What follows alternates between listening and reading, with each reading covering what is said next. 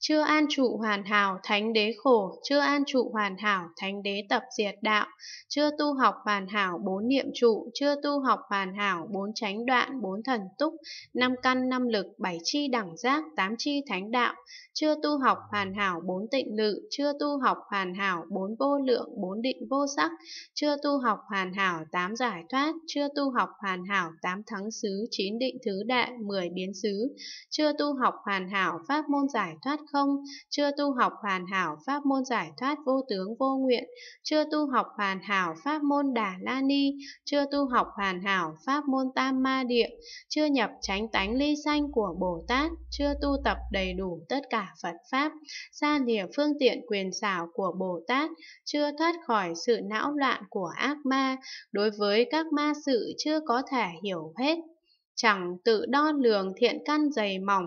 học nói lời chân thật của các Bồ Tát liền bị ác ma dối hoặc. Này thiện hiện, Đại Bồ Tát ấy thấy có nam tử hoặc có nữ nhân đang bị phi nhân dựa nhập, liền xem thường việc ấy phát lời thành thật. Nếu ta đã từ chư Phật quá khứ được thọ khí quả vị giác ngộ cao tột bất thối chuyển, thì khiến cho nam tử hoặc nữ nhân ấy chẳng bị phi nhân nhiễu loạn,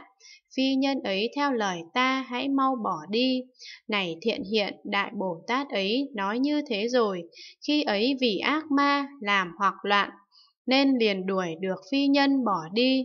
Vì sao? Này thiện hiện vì ác ma oai lực hơn phi nhân kia, cho nên phi nhân nghe lời ác ma liền bỏ đi. Này thiện hiện, Đại Bồ Tát ấy thấy sự việc ấy rồi vui mừng nhảy nhót, nghĩ thế này.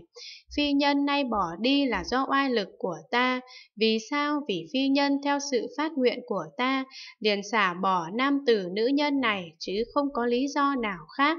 Này thiện hiện, Đại Bồ Tát ấy chẳng có thể biết đó là việc làm của ác ma, mà cho là do sức mình, vọng sanh hoan hỉ, ỷ vào việc này mà xem thường các Bồ Tát khác, nói ta đã từ chư Phật trong quá khứ được thọ ký quả vị giác ngộ cao tột bất thối truyền.